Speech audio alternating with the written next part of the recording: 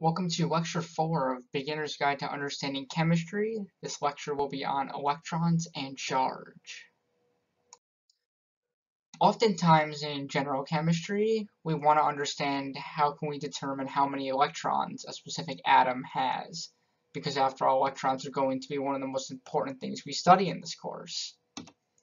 It's important to know how to determine the number of electrons a specific atom has. If it is neutral, this is equal to the number of protons. But more formally, an atom's number of electrons is equal to its number of protons minus its charge. Example, how many electrons does iodine with a minus 1 charge have? Here's the symbol for iodine. And we can set up our equation. We have number of electrons is equal to the atomic number, which in this case is 53, which is the same as the number of protons, minus its charge. Its charge in this case is negative 1. So 53 minus minus 1 is really 53 plus 1, as two negatives make a positive in mathematics. So we're going to have 54 electrons total. This may seem counterintuitive because you might think, oh, we're actually taking one away from the charge, saying minus one, but let's remember that electrons are negatively charged, so it's really the opposite of what you might think. Conversely, how many electrons does xenon with a positive 2 charge have? Let's use the same formula. We have our number of electrons equal to 54 minus plus 2 is our charge. So it's really 54 minus 2, which is 52 electrons. And as usual, using the last slide, you should be able to answer the following questions. How many electrons do each of the following have? The first example is iron with a 3 plus charge. And in example B, we have tellurium with a minus 2 charge and we get two valence electrons. Making the story a little bit more complicated, elements have a total number of electrons that we just talked about.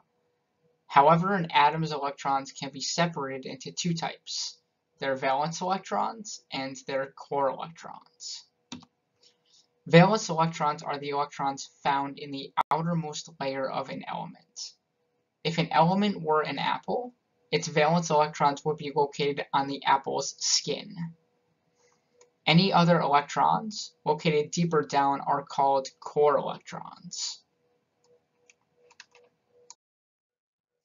Furthermore, we can determine the number of valence electrons. There's a pretty easy method. Uh, as we said, the periodic table is a resource that tells us a plethora of information, so we'll actually get it from there. For an uncharged atom in groups 1A through 8A, excluding transition metals, there's also one other exception which we'll get to. Their number of valence electrons is the same as their column number. For example, anything in group 1A, let's for example just take lithium as an example. Lithium, sodium, potassium, these all have one valence electron. With lithium, for example, because its atomic number is 3, it has one valence electron, and two core electrons. Uh, sodium, for example, would have one valence electron and 10 core electrons. Anything in group 2A, same situation, two valence electrons. Any other electrons are core electrons. For example, magnesium would have two valence electrons and 10 core electrons. Group 3A, boron, aluminum, gallium, these all have three valence electrons.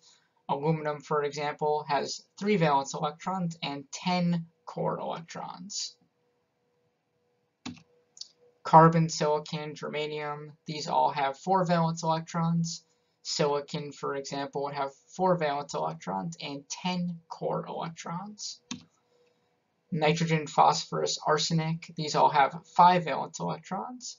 Phosphorus, for example, would have five valence electrons and 10 core electrons oxygen, sulfur, selenium, tellurium, these all have six valence electrons.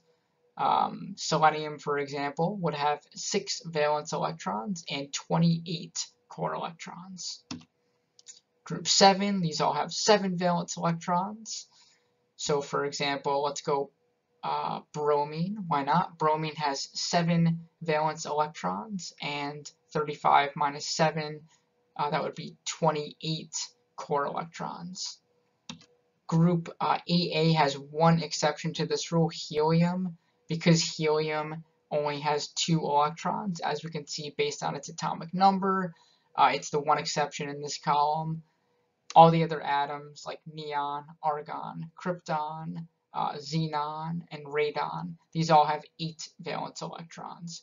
For example, uh, neon would have eight valence electrons and it would have two core electrons. From the information, you should be able to answer the following questions. How many valence and core electrons do the following have? Lead, Pb, bismuth, Bi, tin, Sn, barium, Ba.